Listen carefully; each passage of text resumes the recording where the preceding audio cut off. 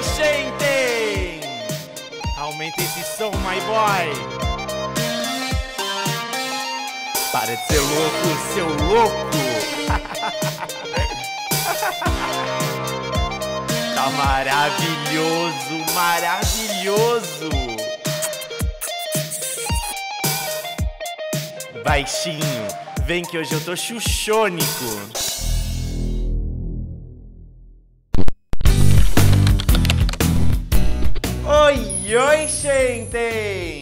Hoje nós temos Barbie temática. Durante muito tempo, a Disney e a Mattel fizeram grandes Barbies com o tema Disney. A parceria Disney e Mattel durou muitos anos, mas recentemente, há uns dois ou três anos atrás, a Disney acabou cancelando seu contrato com a nossa maravilhosa diva de vinil. E por isso não temos mais visto as princesas Disney, os príncipes Disney, os personagens Disney na nossa diva de vinil. Desde a década de 90, principalmente, a gente vem visto Barbies com temas Disney, temas de festival, temas do parque, muitas coisas muito fofuchinhas, muitas coisas muito fofuchinhas e muito interessantes. Hoje nós vamos ver um playset da loja Toy R Us, uma loja americana de brinquedos famosíssima e que tinha coleções especiais e exclusivas da Barbie. Hoje é este o caso. Mas antes da gente começar o nosso review unboxing, a gente vai para os beijinhos da semana. Cadê aquele bichinho maroto, hein? Oi, Ti!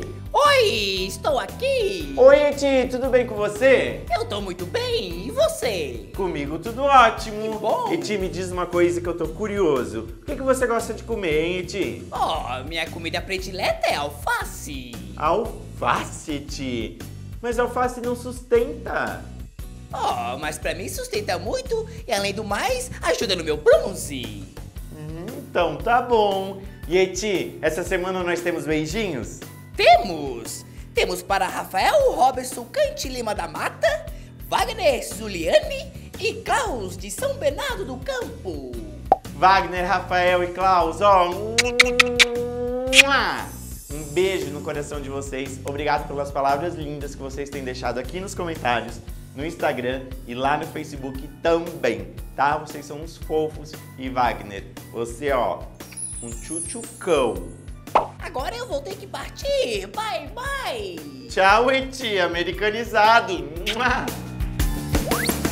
Eu tinha aquele. O meu pogobó era o roxo. Produção, cadê a fichinha? Eu acho que não escreveram nos comentários na fichinha hoje. Ô, produção, assim não dá, hein? Tem que ter a fichinha, mais organização, hein? Ai, gente, me alcança meu celular, não precisa brigar. Gente, o pessoal tá nervoso hoje aqui, hein? Mas vamos ao que interessa.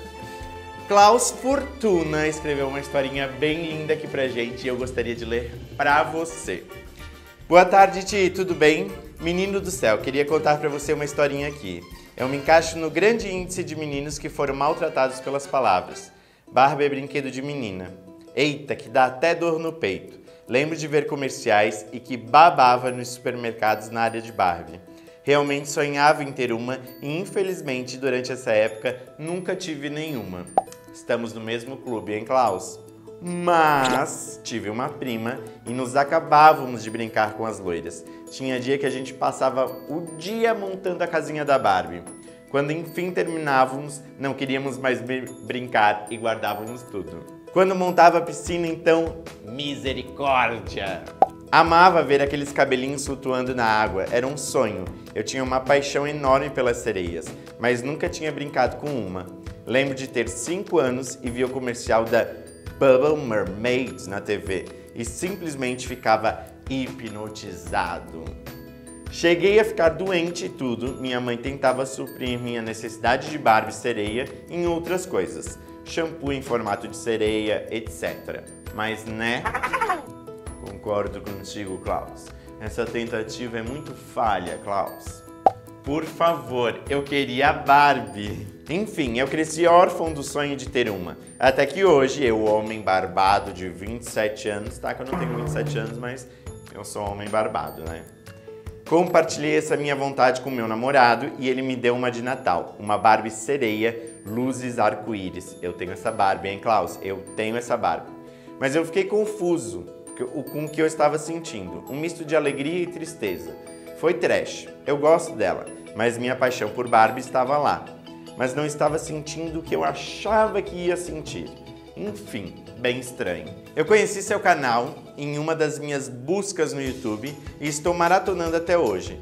E eu vendo aquelas Barbies dos anos 90, eu me emocionei com as coisas que você dizia, com os relatos das pessoas. Me despertou uma dúvida. Será que eu sentiria aquela paixão se caso eu comprasse uma Barbie antiga?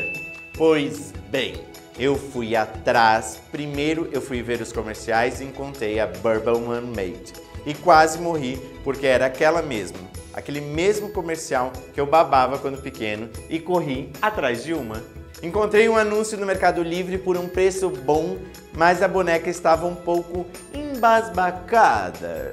Comprei e quase morri de ansiedade. Enfim, chegou o dia, chegou uma coisa muito maior do que o esperado. Super bem embalado e fui abrindo a caixa e quando enfim eu vi aquela caixa rosa, cheia de bolhas e lá estava ela, a Barbie que eu tanto sonhei, cheguei a chorar. Ela estava linda, mas toda. Aqui o Klaus usou uma palavrinha que não podemos utilizar, toda estragadinha, porém muito linda. Fiz todo o processo de limpeza, o cabelo que estava só pela misericórdia do Senhor Jesus. Ficou lindo, lindo, lindo. E quando vi ela pronta, lá vou eu me emocionar de novo e tudo fez sentido. E agora eu quero mais sereias dos anos 90. Muito bem, o Klaus ainda diz muito obrigado por tudo, Ti. Agora estou viciado no seu canal e simplesmente adoro você. Obrigado por tudo mesmo, um grande beijo, fique com Deus e continue sempre assim, maravilhosamente maravilhoso. Maravilhoso! Klaus, sabe que isso também aconteceu comigo? A minha primeira Barbie, na verdade, foi um playset, Wedding Day Mid. E eu lembrava muito da minha Vicky, da minha Vicky, como se eu tivesse tido uma na infância, mas enfim. Eu brinquei muito com a Vicky festa de casamento e na minha cabecinha estava aquela Vicky maravilhosa, enfim. Encontrei ela no Mercado Livre, um playset, só que era a versão americana, que era mid. Quando eu abri, eu não vou dizer que eu não me emocionei, eu me emocionei. Porém, no entanto, entretanto, todavia, não era a Vicky festa de casamento. Então eu te compreendo bem. É porque quando a gente está colecionando esses itens, a gente está com aquele sentimento da infância e quando a gente pega não é bem aquilo, principalmente com itens novos. Acredito que é assim para todo mundo. Não sei, talvez não. Marlene vai brigar comigo que eu estou mexendo nesse microfone? Sim, com certeza, mas eu te entendo. O playset que a gente vai mostrar hoje é Barbie and Friends Gift Set. É da Toys R Us uma edição limitada da loja. Ela acompanha Skipper, Barbie e seu maravilhoso namorado Ken. E nessa versão aqui, vocês vão, vão dar uma criticadinha? Talvez deem uma criticadinha. Esse molde aqui é aquele que eu não gosto muito. Mas esse, esse ele tem uma coisinha especial, ele é bem bonito. Fora que é toda essa roupa. Essa roupa é maravilhosa maravilhosa. Nessa caixa a gente tem as seguintes informações. Informando que ela é da Toys R Us, que é uma edição limitada. Os nomes dos personagens que vem nesse gift set. Aqui embaixo temos Barbie and Friends Gift Set. E que a Barbie está sendo vestida com Mickey, Minnie e Donald. Não só a Barbie, como a Skipper e o Ken. Na parte de trás a gente consegue perceber mais a roupa que acompanha cada um deles e os acessórios, como os chapéus e o balãozinho da Skipper. Vou contar uma coisa para vocês. É... Eu abri essa caixa, por isso que vai dar tudo certo. A gente vai abrir hoje aqui também. Eu já abri essa caixa porque elas vêm muito, mesmo que guardadas, produção, fiz. Elas vêm muito sujas, muito, muito sujas. Então não custa nada. Eu só não vou tirar eles, porque aí é muito, é muito empenho. Mas a primeira coisa que eu vou mostrar para vocês é o chapéu, que é um chapéu muito parecido com o da Barbie Estrela, que a gente já conhece. Ele é desse jeitinho. Ele tem esse adesivo e em cima tem dois buraquinhos para a gente passar o elástico e prender na cabeça do Ken, da Barbie ou da Skipper. O Ken vem com aquele tênis que a gente já conhece, que foi bastante utilizado pela Estrela, que é o tênis branco, que o meu querido sócio gosta muito porque é um Adidas Star, é isso, sócio? Exatamente. E ele, e ele vive usando esses tênis. Pra Barbie, ela vem com essa escovinha, bem conhecida por nós. A Barbie também tem um chapéuzinho e acompanha com ela também esse escarpão lilás. A Skipper tem esse lindo par de sapatinhos vermelho, também tem chapéu e ela vem com esse balão do Mickey, que é a parte mais fofa do gift set. E aqui a gente prende pelo punho dela. A Skipper, essa versão de Skipper, na verdade, é a versão que eu mais gosto dela. Esse rostinho é o mais lindo, que é bem o rostinho da Skipper dos anos 90 e o que a gente conhece aqui no Brasil, que a gente conheceu na década de 90. Ela vem com uma t-shirt com Pato Donald, bem roupinha de férias, com essa bermudinha vermelha, com essa barra detalhada em branco, tem umas manchinhas de tinta vermelha, azul, verde e ela ainda tem essa chuquinha lateralizada. O grande detalhe desse skipper que eu acho um pouco estranho é esse olho lilás. Esse sim é hiper lilás. Já a Barbie vem com uma saia com duas camadas. Também todo o look dele está com algumas manchinhas, até parecem flores, mas não são flores. São manchinhas de tinta. A saia dela por baixo é assim, azul com amarelo e por cima vem essa textura toda trabalhada na tinta. A blusinha dela, t-shirt dela, é vermelha com a mini. Isso eu não sei, não é. Eu ia dizer que é pintado, mas é aquelas. Eu não sei como é que é o nome disso, sabe? É um adesivo para tecido, sabe? Que a gente, é, que a gente passa assim e aí o adesivo cola. Ela vem com brincos vermelhos e o anel vermelho também. A roupinha do Ken é a que eu mais gosto, principalmente porque parece que ele tá de pijaminha. Ele vem com essa calça, ela tem bolsos, esse é o bolso dele, essa parte azul. Também a estampa toda trabalhada na mancha de tinta. Ele já tá com uma blusa com um Mickey.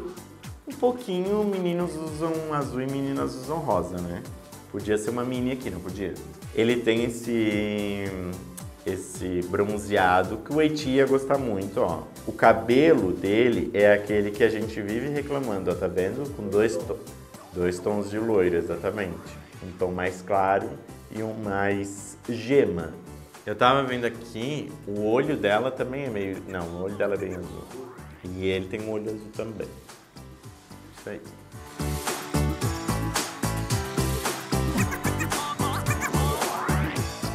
Gostou desse vídeo? Não esquece de curtir, de compartilhar, de se inscrever aqui no canal. E não esquece também que o nosso prazo é dia 5 de julho para a gente atingir 20 mil inscritos para finalmente a gente sortear mais uma Barbie aqui no canal. Tá bom? Quarta-feira que vem, nós dois temos encontro marcado às 10 horas da manhã. Não esquece de mim, eu tô te esperando aqui, tá bom? Mua!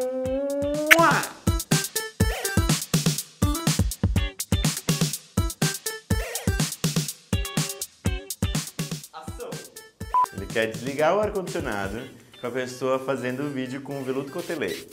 Maravilhoso. É, muito amigo. É. Na parte de trás, a gente vê os acessórios que eles vendem. Os bens, tudo bom? Tive um pequeno soluço agora.